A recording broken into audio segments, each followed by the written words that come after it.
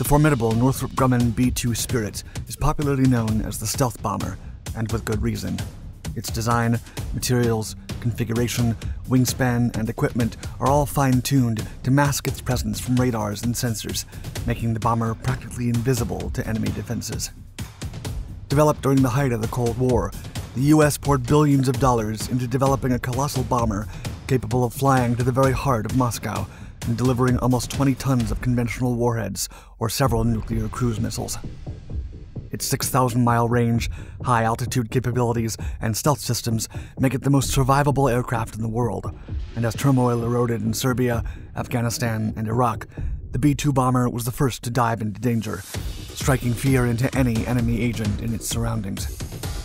Still, developing a warplane so far removed from conventional aviation design represented one of the riskiest and most ambitious decisions in American military history. Most of the technology required for it simply didn't exist at the time, and every component, process, and manufacturing protocol had to be created from scratch. The US risked it all in an extraordinary quest to build a bomber decades ahead of its time.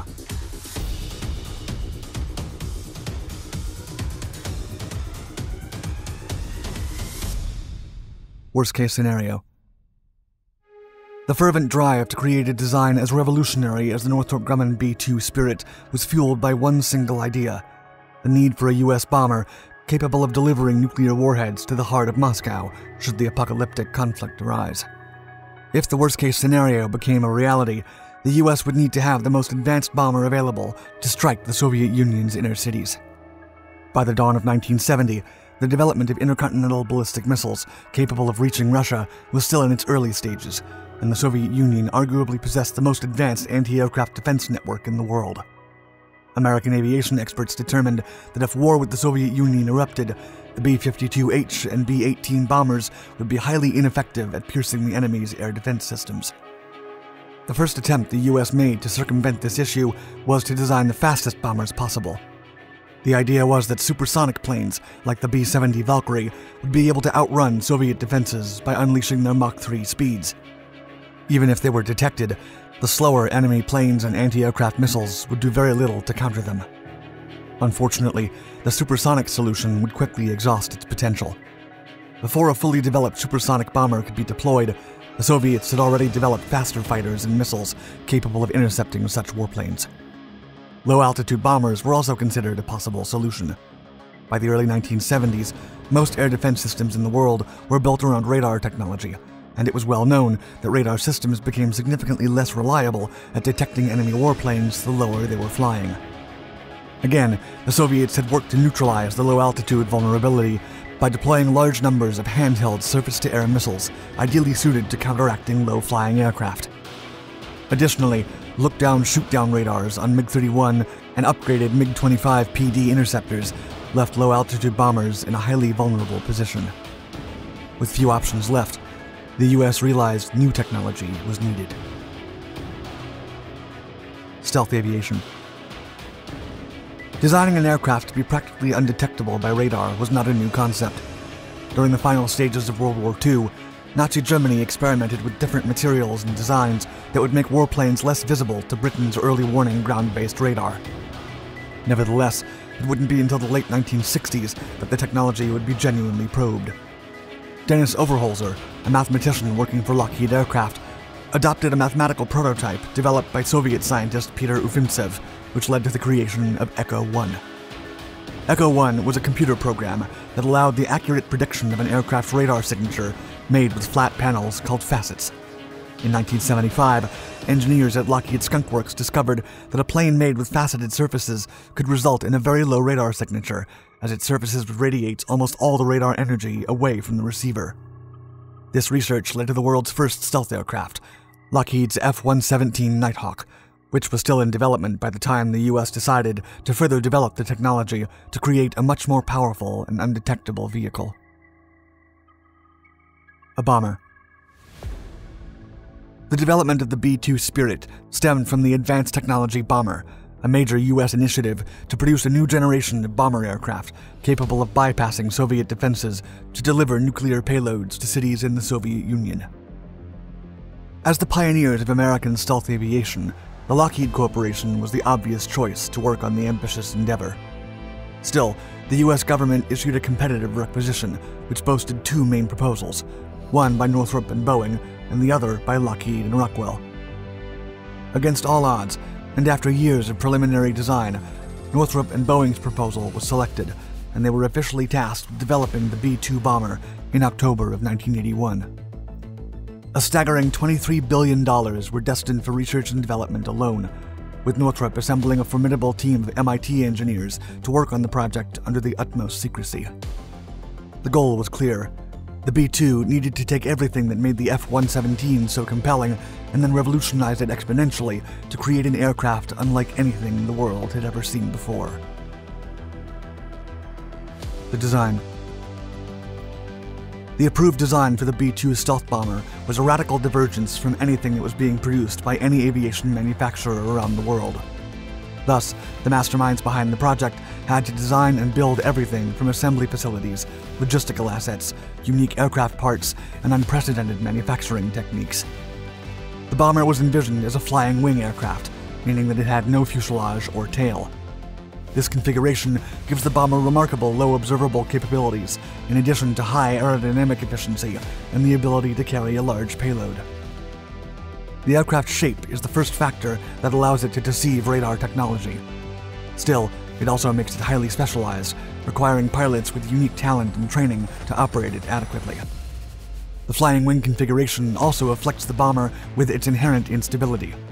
To compensate, the B 2 uses a complex quadruplex computer controlled fly by wire flight control system that can robotically manipulate flight surfaces and settings without direct pilot input to maintain stability at all times. The dimensions and shape of the aircraft were meticulously tailored to provide the least possible radar cross section.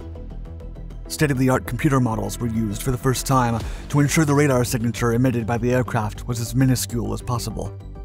Still, the low radar cross section meant that the size of the B 2 and the cockpit space was restrained compared to conventional bombers.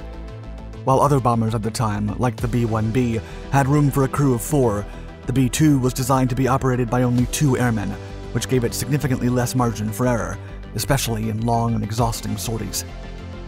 The B-2 was also fitted with an AN/APQ-181 low probability of intercept multi-radar system that detects threats with much more accuracy and time than any similar system.